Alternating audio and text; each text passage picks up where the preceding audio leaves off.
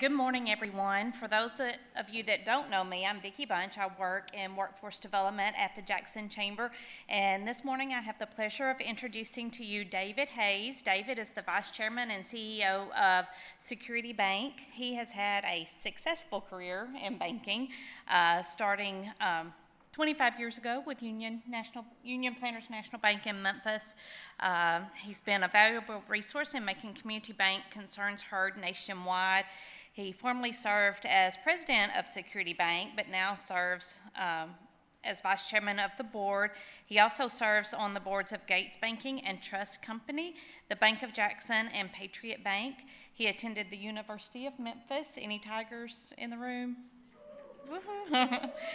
and the Stonier Graduate School of Banking. He is very active in community affairs. He serves as the chairman of the Dyer County Industrial Development Board, Vice Chairman of Regional Economic Development of the Dyersburg Dyer County Chamber of Commerce, and board member of the Dyersburg Electric Company. He is past chairman of the United Way of West Tennessee Board of Directors and past chairman of the Dyersburg State Community College Foundation. So he is very involved.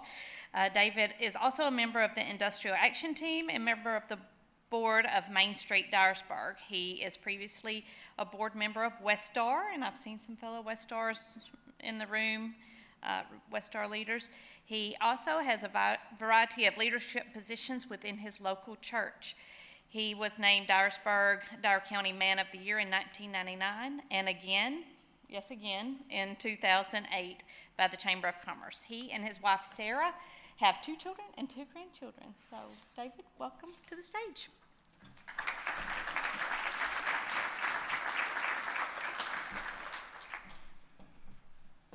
As I sat there and, and listened to that presentation, you know, when you get to be my age, you get real reflective on life. And uh, you start thinking about what is it that I can do. In fact, my geriatric cardiologist, when I visited her uh, three months ago, she said, Are you still working?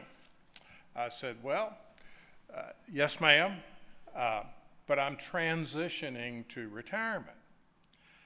And I said, so I'm taking off on every Friday. So the only reason I'm here today is out of respect to, to Matt, because I'm normally in shorts and a t-shirt at this time of the morning.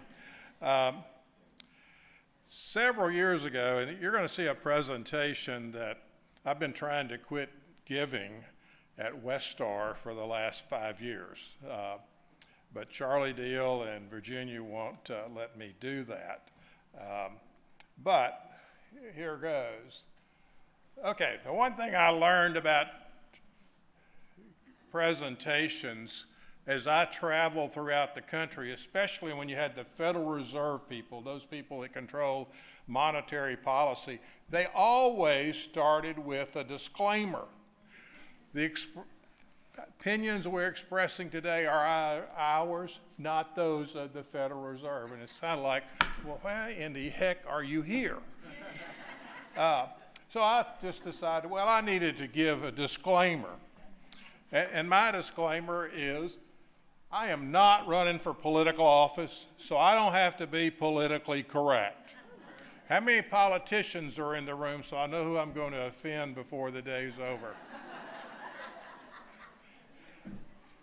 And then I am close to retirement. I turned 74, I'm still working, we're not sure why. Uh, but I want y'all to keep working because I'm going to be dependent on your Social Security check and my Medicare. Several years ago, I came up with this concept, and it's, it's because I'm, I moved from Memphis. I lived in both ends of the economic uh, arena, Frayser and Germantown. So I, I saw culture at both sides. Uh, and then I moved to Dyersburg. And I thought I was a conservative until I moved to, to Dyersburg and found out I was probably a, a liberal in comparison to most of the people around there. However, we have good people in all of our communities. But as you look at those numbers, and this concept came to me. Let's talk reality. our people, our voters, those people who gather in our communities, are not talking about the issues that you're here today seeing. They're talking about the Friday night football game. That is the most important thing in their sphere of perspectives. I always told Bob Porter, or Bob Corker, excuse me, when he came to Dyersburg, I said, Bob, remember, Dyersburg is on the west coast of West Tennessee. Think about that a minute. If you go 13 miles, you're going to be in the river. So we are on the west coast, not politically, but uh, geographically. And as I look around this audience, I know that even in Jackson, based on the time I'm here, we kind of categorize ourselves where we live North Jackson, East Jackson, South Jackson, probably missing something else. I know a couple of people who won't go from Midtown Jackson across the interstate. So their perspective is where they are. And I do, I do think geographics make a difference in how we think. So I came up with the concept. It's what is talked about on the Monday mornings in the local coffee shops is the Friday night football game. And I maintain that it's different in the big city than it is in smaller cities. You have to ask yourself, is Jackson a big city or a small city? There are pluses of both. Well, what I learned when I moved to Dyer County is that Dyersburg High School and Dyer County High School did not play football against each other for over 30 years. And, but however, those people in the local coffee shop still talked about that last game. Now, they are playing now, so I'm assuring they're talking about the most recent game. Well, in Dyersburg, used to have a place called the Cozy Kitchen, and that finally closed, and it became Chick fil A. Uh, Dave's on the Square, and McDonald's. And I will guarantee you in Jackson and Madison County, if you go by the local places, Chick fil A, McDonald's, the local coffee shop, you are going to see predominantly a group of old men sitting and drinking coffee from about 8 o'clock till about 10 o'clock. And you probably can write down where that is around here. Well, in their minds,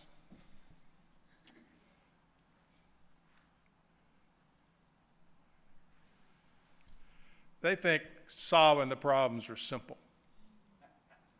And they have worked through that in their mind, and the issue is I don't understand why they don't fix it. It's not that hard. Those people are voters, remember that. And so I maintain that all the problems in all of our communities are solved every morning at the local coffee shop.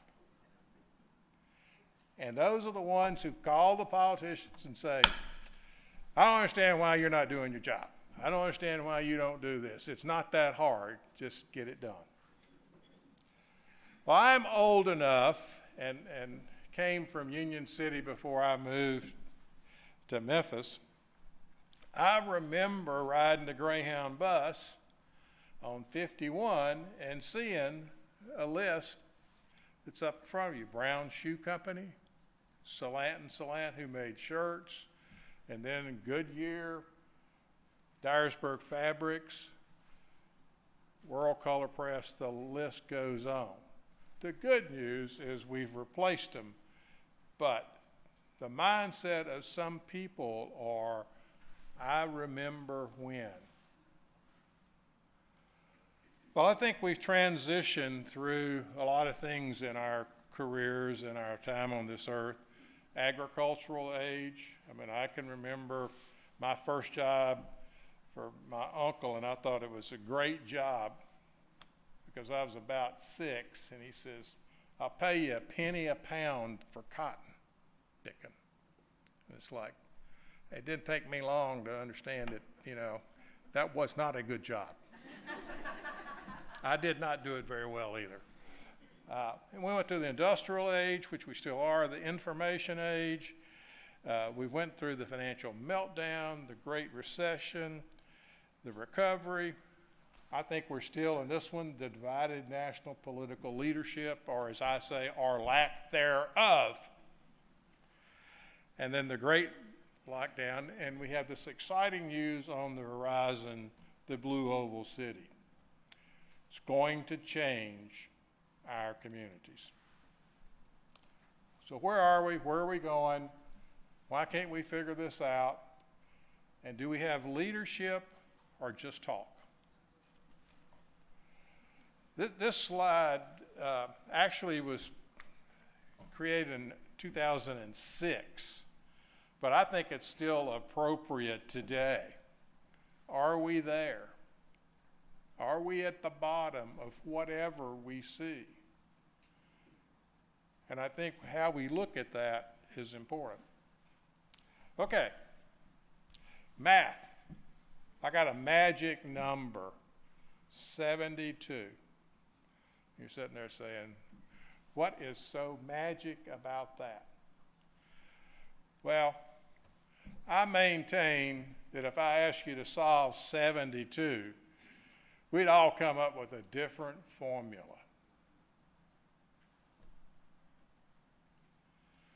And I think that's important to keep in mind as we do and we think differently. And there are a lot of factors on that. In about year 2000, TVA did a project, and it, it all it's stuck in my mind ever since. They had a group like this, and they had us to to write in the decades what happened then that made a difference in where we were today. So, you know, it became very obvious that what was important or what you had seen that made a difference today was driven by when you got there for me, I didn't know what happened in the 50s and the 60s and the 70s and the 80s and 90s at Dyersburg. And I also maintained that how you look at things is dependent on what you see. When I got to Dyersburg, one of the things that hit me just between the eyes was we would have young kids from school coming visiting our bank. And there were three buildings in Dyersburg that had an elevator. And the predominant response from the young people who visited us said the most amazing thing to them was the elevator ride. And I am sitting there thinking, you know, I've been in the Sears Tower, I've been in, you know, all these places. And the most amazing thing these young people saw was an elevator. And then it hit me. Many of them never had been outside of the city.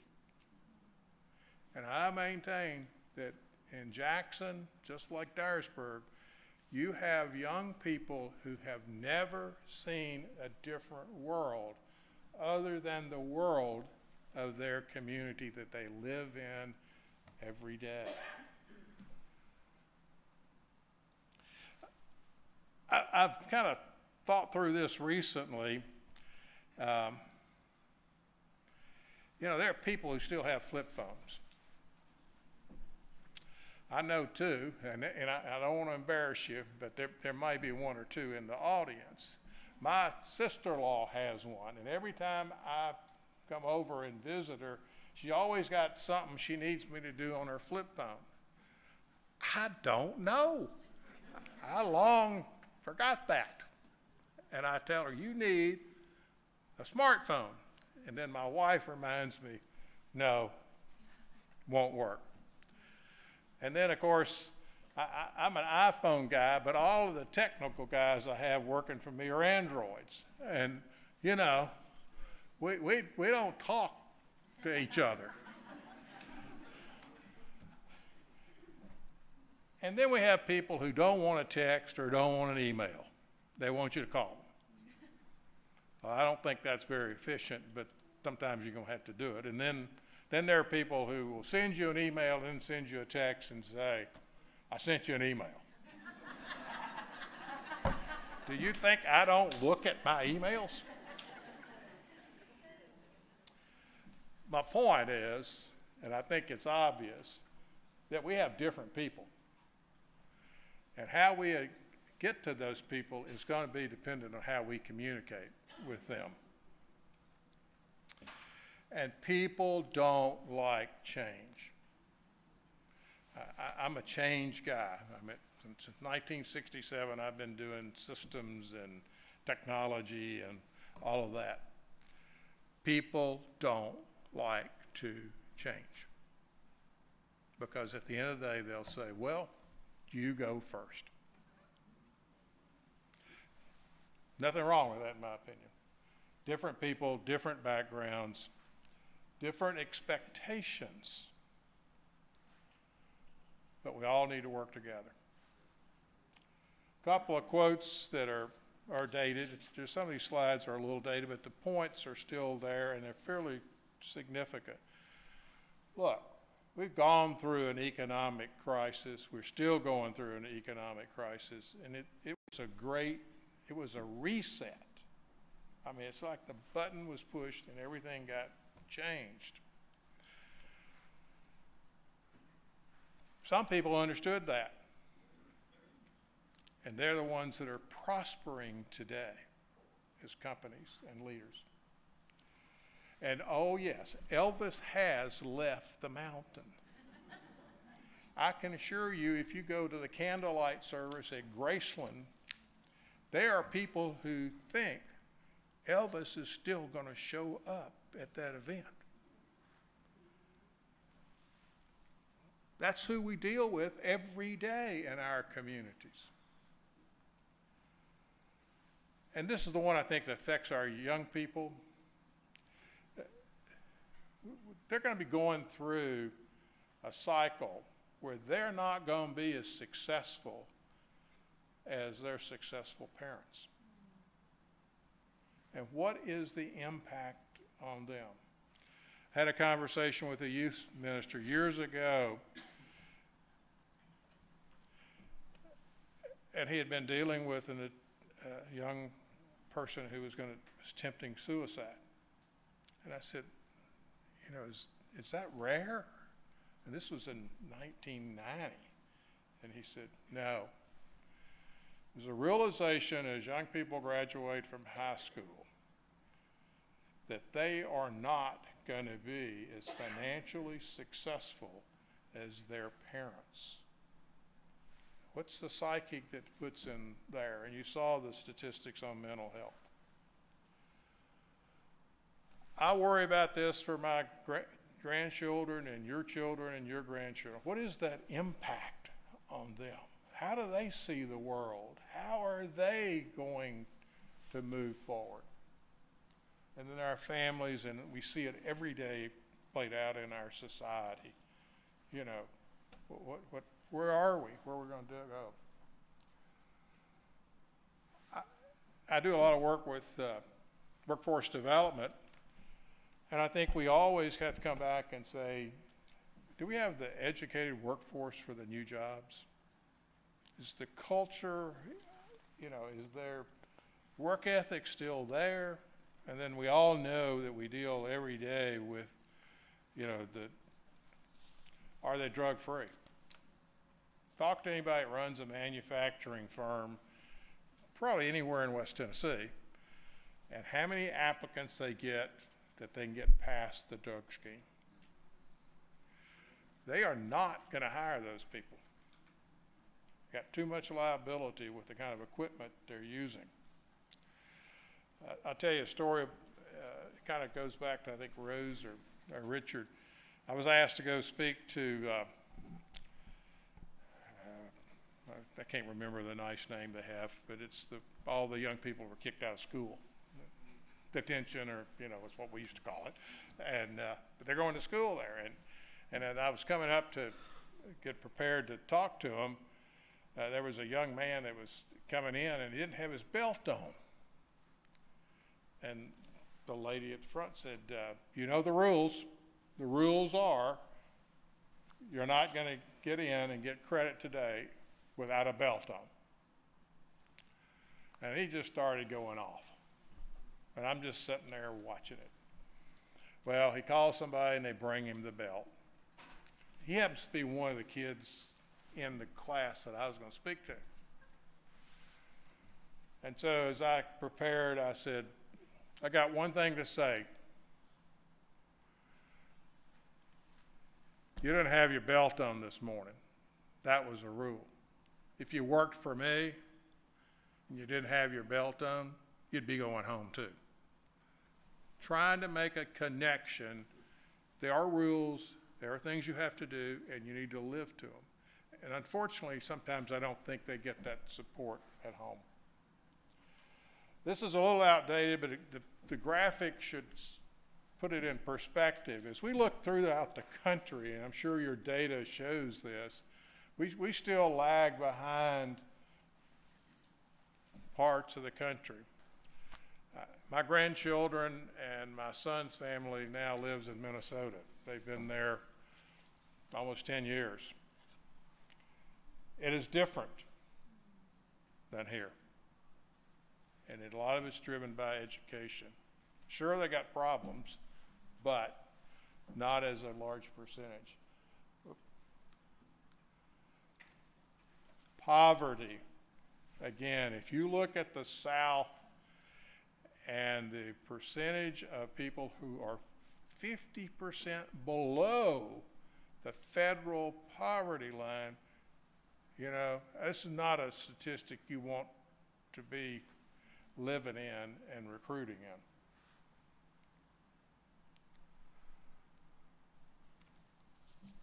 in. We as leaders today face a lot of decisions, and sometimes we think it's all solved by money. It is not solved by money. Solved by leadership. How many of y'all heard that statement from somebody? That was good enough for grandpa, good enough for grandma. I don't know why we need to worry about that. Not the same place they lived. Not the same place. But it does affect what we can get done in our communities because, again, those people are, are voters and they make decisions that we all. Some of you may remember a guy here in Jackson, Mike Philpo. Mike is passed, but Mike had connections with all of the electric departments throughout West Tennessee. And he said, You ought to look at your community with a critical eye.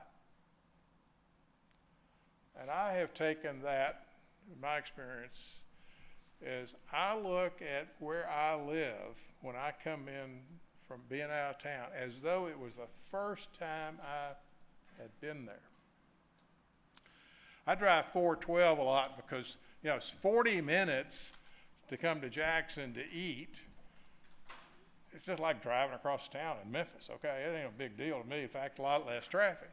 However, as I told Ed Jackson the other day, when in the heck are you going to finish and fix the road on 412 as I come into Jackson? I think I'm off road.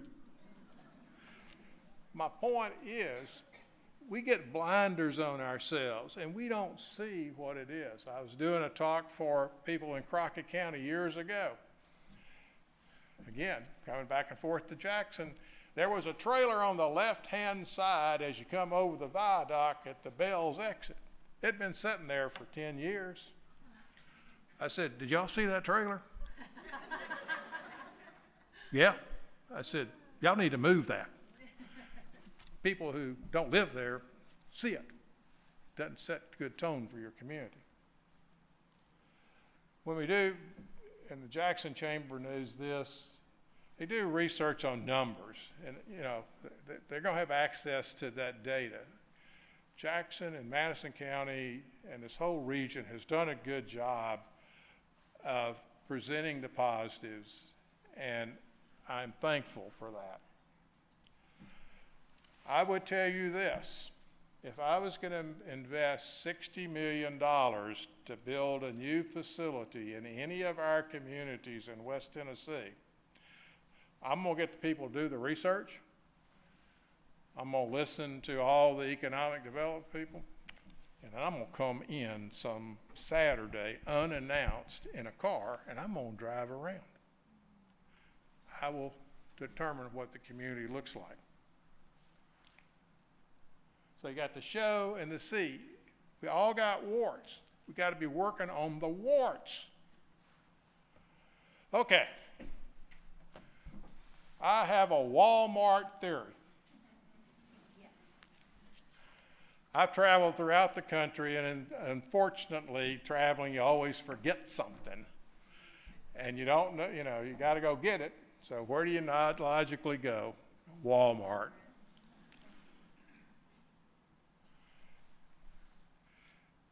Just go in Walmart at 2 o'clock on Saturday afternoon.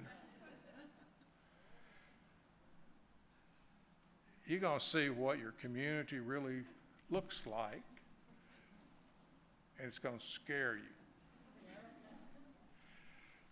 Not that they're bad people, but it's an impression of our communities and how we need to look at things. And I've maintained this since somebody told me I was going to be vice chairman of regional economic development. I said, What is that? And they said, Well, you know, you travel a lot around, so you ought to be able to work with people in different communities. Well, look, nobody wants anybody from Dyer County going into Gibson County and telling them how to do things. So you don't do that. You just try and get them to understand they need to make some changes. Okay. This is a chart that was used in the presentations on, for Blue Oval City. The smaller area are those people within a 45 minute drive of the location. The larger surface area is within 90 minutes because the pitch is how many people are available in the workforce. And people are going to drive easily 45 minutes. We have people in Dyersburg that work across the river at the steel plants that come to Dyersburg because the education system is better. We have people who are in management positions in Dyersburg who live in Jackson. A lot of it is who we are and what we've seen and what we expect. And we all have to understand we have to compete, but we have to cooperate. And then those people in the coffee shops, I've heard this, they've told me, I don't understand why y'all can't get another industry. Just go get it. yeah, right. It's all about getting the ribbon out, cutting it, and saying we got somebody coming in town. It's all, it's real easy. Well, it, it's not easy. Uh, takes public policy and free enterprise to make deals happen. And why do we do it? Grandma and Grandpa, it was good enough for me. Why are y'all doing that? We want to make the place better. We want to make the place better so we can raise our kids and our grandkids. That's why we do it. That's what's important. And that's why those numbers are important, that you have to make some actions when you see it. So I always maintain you just go back to the local coffee shop. And I, I used to do this every morning, but I don't anymore. I guess I'm getting too old to tolerate it every day. Uh, but listen, you will be amazed at what has been solved in their minds.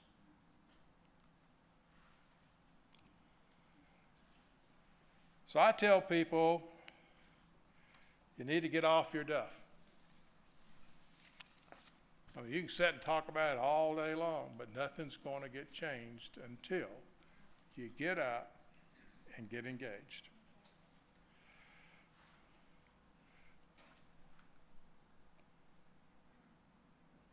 It's all about leadership. Colin Powell is one of those guys that I thought was one of the best leaders. And you can fill in the blanks, okay?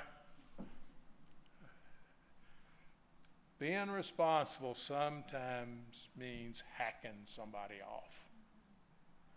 Doesn't mean that's the way you get everything done, but sometimes you got to be prepared. So the question you have to ask yourself is what is your legacy of leadership in your community? You can't do it alone, but you got to build relationships. Okay, final thought. Take your age and add 10 to it. 10 years is not a long time to get anything done in a community. I'm 74. My 10 year number is 84. I may not be here. So if I'm going to get anything done, I can't wait to tomorrow because I don't know if tomorrow will be there. And it takes a long time to move and make a true impact on our community. You can't change those numbers and your position overnight. It takes a commitment to move forward.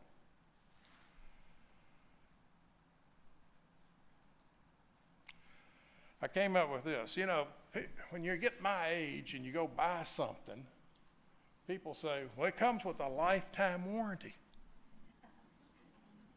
To which I say, you know, when I was 40, that might have meant something.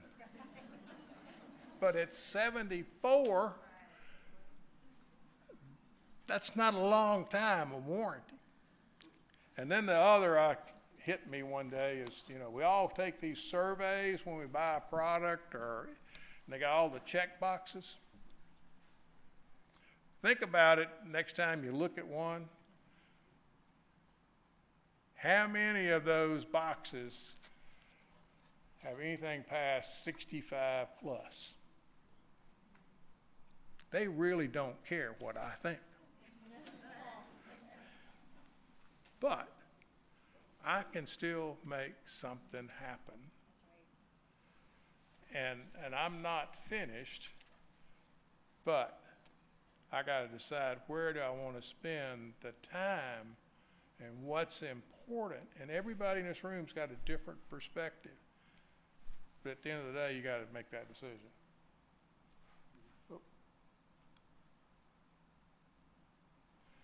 It's not about who gets credit.